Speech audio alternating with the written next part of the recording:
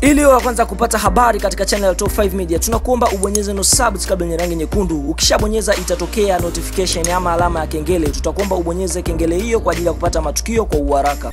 Moja kati ya story exclusive ambayo tumekuletea siku ya leo ni kuhusiana na salary ama mshahara wanaopokea wachezaji wa klabu ya soka ya Yanga. Basi kama unaikubali timu ya soka ya Yanga, gonga like hapo chini katika video hii. Moja kati ya vitu ambavyo tunaenda kuletea leo na kusogezea mezani kuhusiana na timu ya soka ya Yanga ambayo inashiriki ligi kuu nchini Tanzania ikiwa imeshabeba vikombe zaidi ya ishirini katika ligi hiyo, pia ikiwa timu hiyo imeanzishwa mwaka 1935. Tunaona kwamba ni moja kati ya timu kongwe sana zinazoshiriki ligi kuu nchini Tanzania. Kwa hiyo moja kati ya story exclusive ambazo tunakuletea leo eh, ni klabu ya soka Yanga ambao kwa sasa kocha wao ni Luis Myaeli. Ukiachana na kocha, basi ipo chini ya udhamini wa GSM. GSM tunajua bwana, chapa hii inatoa sana pesa. Kwa hiyo moja kati ya vitu ambavyo klabu ya soka ya Yanga inafanya ni kufanya klabu hiyo ya soka ya Yanga inachukua wachezaji wazuri, pia kuwalipa hela nzuri kwa mwezi, ama inafanya usajili mzuri na kufanikisha kuwalipa wachezaji fedha nzuri ili waweze kuitumikia timu hiyo kuweza kupata vikombe. Umeona eh? Ni moja kati ya vitu ambavyo vinaleta uhamasishaji sana bwana. Mtu ukiwa una pesa lazima ufanye kitu chochote, maana wanasema bwana e, pesa sabuni ya roho. Kwa hiyo leo tunaenda kuletea story exclusive ambapo tunaenda kusogezea ile mishahara ambayo wachezaji wa soka wa Yanga wanalipwa kwa mwezi, ambapo tutaenda kuletea wachezaji kumi ambao wanakimbiza kwa mshahara ama wanaongoza kwa mshahara katika timu ya soka ya Yanga. Moja kwa moja basi tunaenda kuanzia katika namba kumi. Namba kumi bwana inakamatwa na golikipa huyu Farush Kalo. Farush Kalo amna mtu asiyomfahamu, ni moja kati ya magolikipa hatari sana Tanzania, akisimama pale langoni, kwanza na umbo lake lile, hata ikiwa kwenye upande wa penati mtu najiuliza upige wapi, kwa sababu anajaza goli zima. Huyo si mwingine alikuwa ni Farush Kalo ambaye anakamata nafasi ya kumi. Kwa sasa ana umri wa miaka e, 23 ambapo alizaliwa Oktoba 12 mwaka 1996. Huyu ni raia wa Kenya na anacheza nafasi ya golikipa ukiachana na hivyo kwamba kwenye timu yake ya taifa ya Kenya Harambee Heroes anapata nafasi. Kwa hiyo ni mmoja kati ya wachezaji ambao analipwa vizuri katika klabu ya soka Yanga, ambapo yeye anapokea mshahara wa shilingi milioni tano kwa mwezi. Umeona eh, mambo hayo ya vipaji bwana. Mtu hata tunakushauri kama una kipaji chako kitumie vizuri. Huyo sehemu mwingine alikuwa ni Farush Kalo ambaye anakamata nafasi ya kumi kwa kukamata mshahara wa milioni tano kwa mwezi. Baada ya kumwona Farush Kalo, basi nafasi ya tisa inakamatwa na Metacha Mnata. Metacha Mnata hamna mtu asomfahamu sifa yake, ni mmoja kati ya magolikipa hodari sana katika ligi kuu nchini Tanzania. Kwa hiyo ni mmoja kati ya magolikipa wa kuigwa, na kwa sasa ni kijana mdogo tu. Tunamwona kwamba ni mmoja kati ya magolikipa wenye umri mdogo nchini Tanzania. Kwa sasa ana umri wa miaka 21, ambapo alizaliwa Novemba 25 mwaka 1998. Alizaliwa Tanzania, huyu ni raia wa Tanzania. eh, alizaliwa kule maeneo ya mkoa wa Dodoma. Ifahamike anacheza Yanga na ni position yake ni golikipa, na tushamuona ameshaitwa sana katika timu ya Taifa Stars ama timu ya taifa ambapo inafahamika kwa jina la Taifa Stars ya Tanzania. Ni mmoja kati ya magolikipa ambao wameaminiwa na kocha Etienne Ndairegije, akiwa ana umri mdogo, ameweza kupata nafasi ya kucheza katika kikosi cha timu ya Tanzania. Ni mmoja kati ya magolikipa hodari sana, ametacha Mnata. Ifahamike katika klabu ya soka ya Yanga anaingiza kiasi cha shilingi milioni tano kwa mwezi. Ni hela nyingi sana hizi, tukizikonveti ni hela nyingi sana, ambapo anaingiza kwa mwezi katika klabu yake ya soka ya Yanga. Kwa hiyo tukiachana na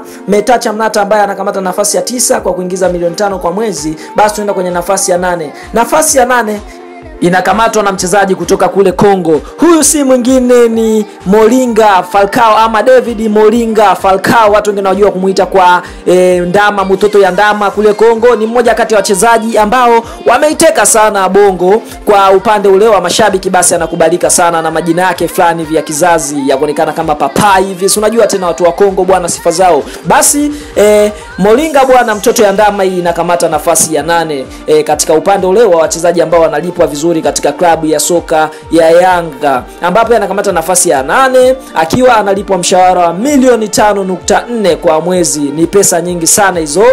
Akizipata hapa akirudi kule Kongo anavimba bwana eh, anatamba mtaani. Huyo si mwingine alikuwa ni eh, Molinga mtoto ya ndama ambapo yeye anakamata nafasi ya nane kwa kujiingizia mshahara wa milioni tano nukta nne kwa mwezi.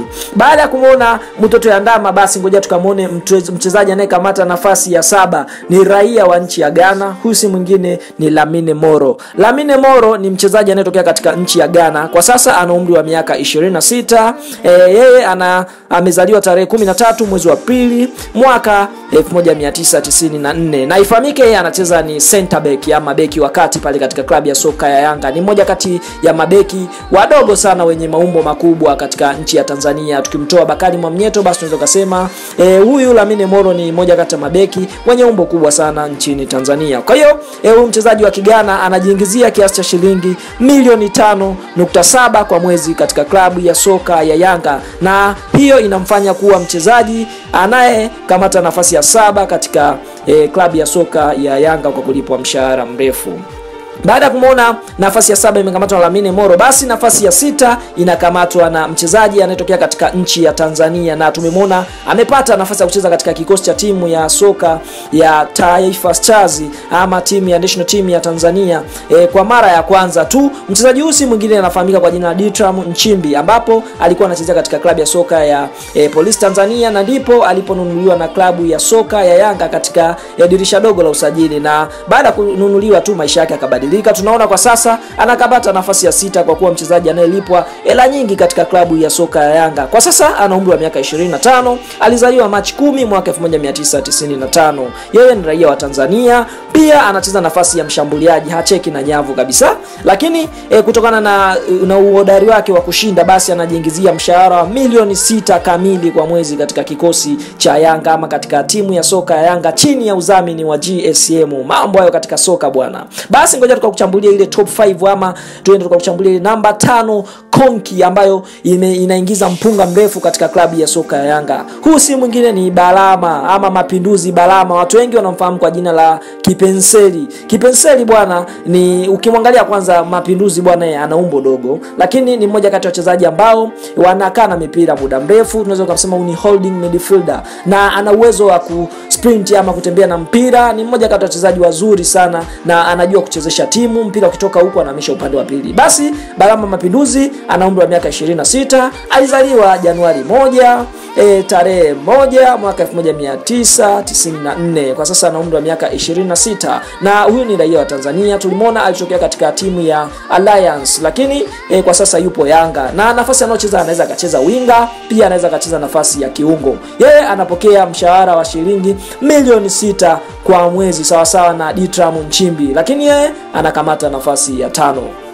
Unaona, baada ya kuona nafasi ya tano imekamatwa na Mapinduzi Balama, basi ngoja tuende tukaangalie ile top 4 ama nafasi ya nne imekamatwa na mchezaji gani? Basi nafasi ya nne imekamatwa na Kelvin Yondani. Watu wengi tunamjua huyu ni kama veterani fulani hivi, ni mmoja kati ya wachezaji wa Kongo sana katika ligi kuu nchini Tanzania. Tulimwona alishacheza katika klabu ya soka ya Simba, lakini sasa hivi yupo Yanga pale. Lakini Kelvin Yondani kwa sasa ana umri wa miaka 35. Alizaliwa eh, Oktoba 9 mwaka 1984 na huyu ni raia kabisa wa Tanzania na ni moja kati ya mabeki hatari sana wanaotegemewa na kikosi cha Taifa Stars, ambapo yeye anacheza Yanga na ni beki wa kati, lakini kutokana na uhodari wake wa kuzuia, basi anajiingizia kiasi cha shilingi milioni 6.5 kwa mwezi katika klabu ya soka ya Yanga chini ya udhamini wa GSM. Huyo si mwingine alikuwa ni Kevin Yondani ambaye anaingiza mkwanja mrefu sana kutokana na kipaji chake cha mpira, ambapo anakamata nafasi ya nne kwa kulipwa mpunga mrefu katika klabu ya soka ya Yanga.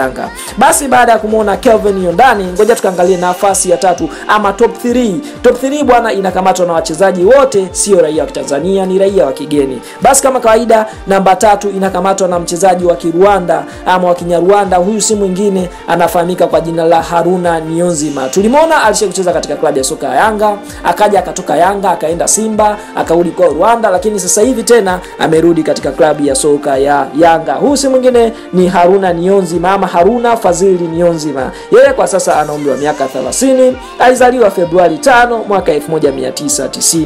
Yeye ni raia wa Rwanda, anacheza nafasi ya kiungo, pia anaweza akacheza kama e, mshambuliaji fulani vya mawinga, ni kiungo mshambuliaji huyu. Yeye kwa, kwa mwezi anaingiza kiasi cha shilingi milioni 6.9 kwa mwezi. Umeona ni pesa nyingi sana hizo hapo, milioni 6.9 almost kama milioni saba kwa mwezi hivi. Ni mmoja kati ya wachezaji ambao wanafanya vizuri sana katika ligi kuu nchini Tanzania. Kwa hiyo kutokana na kipaji chake hiko anajiingizia mpunga huo katika klabu ya soka ya Yanga. Baada ya kumwona baada ya kumwona Haruna Nionzima, basi nafasi ya pili ama top 2 inakamatwa na Papi Kabamba Shishimbi. Ni mmoja kati ya wachezaji wakongwe sana katika klabu ya soka ya Yanga pale, na ni mmoja kati ya wachezaji ambao wanajiingizia mkwanja mrefu sana katika klabu ya soka ya Yanga pale. Yeye anakamata nafasi ya pili. Tumeona kwamba yeye ni captain wa timu cha kwanza, ni mmoja kati ya wachezaji wa kuigwa sana. Huyu ni raia wa Kongo, ambapo ifahamike anacheza nafasi ya kiungo mkabaji ama kiungo mkabaji, anakaba kweli mchezaji, ana mapafu ya, ya Duma, naweza kusema, japokuwa watu wengi wanamjua Duma achoki, lakini yeye ana mapafu ya Duma. Ni mmoja kati ya wachezaji ambao wanapumzi sana wakiwa uwanjani. Basi papika Kabamba Shishimbi kwa sasa ana umri wa miaka 30, lakini alizaliwa Aprili 6 mwaka 1990. Yeye kwa mwezi anajiingizia kiasi cha shilingi milioni 7.1 kwa mwezi katika klabu ya soka ya Yanga pale. Ni mpunga mrefu anaoingiza katika klabu ya soka ya Yanga chini ya udhamini wa GSM. Baada ya kuona nafasi hiyo ya pili imekamatwa na pika Bamba Shishimbi, basi nafasi ya kwanza inakamatwa na mchezaji ambaye kwa sasa ni kipenzi cha mashabiki wengi wa klabu ya soka ya Yanga kwa sababu ya uchezaji wake akiwa uwanjani. Huyu si mwingine ni Bernard Morrison ama BM17. Ni mmoja kati ya wachezaji ambao wanapendwa sana na Watanzania wengi, ukiacha hata wale wapenzi wa mpira kwa sababu ya uchezaji wake. Ni mmoja kati ya wachezaji ambao wanaleta vionjo uwanjani. Kwa hiyo kutokana na staili yake ya uchezaji, mgana huyu anajiingizia kiasi cha shilingi milioni 7.5 kwa mwezi, ambapo ni pesa nyingi sana hizi ambapo anazipokea katika klabu ya soka Yanga, na ukianganisha kwamba ana umri wa miaka 26, alizaliwa Mei 20 mwaka 1993. Anaweza akacheza nafasi ya kiungo, pia ni winga anacheza. Ni mmoja kati ya wa, wa mawinga hatari sana hapa katika ligi kuu nchini Tanzania. Ni mmoja kati ya wachezaji ambao akibaki man to man na mchezaji beki mwingine anaweza akafanya E, maajabu yoyote akaasisti akashinda. Kwa hiyo ni mmoja kati ya wachezaji ambao wanaongoza kwa kulipwa mpunga mrefu katika klabu ya soka ya Yanga. Huyu si mwingine ni Bernard Morrison ama B, BM35. Ni hatari sana huyu. Basi kama ulikuwa nasi sambamba tokea tumeanza, tumekuletea listi ya wachezaji ambao wanajiingizia mpunga mrefu sana katika klabu ya soka ya Yanga. Tuliondoshe maoni yako hapo. Je, ni mchezaji yupi unamkubali katika kikosi cha, cha, cha Yanga ama ni mchezaji yupi unatamani aongezewe mshahara kutokana na listi uliyoisikia? Asante kwa kutufuatilia, hatuna la ziada. Kwa heri.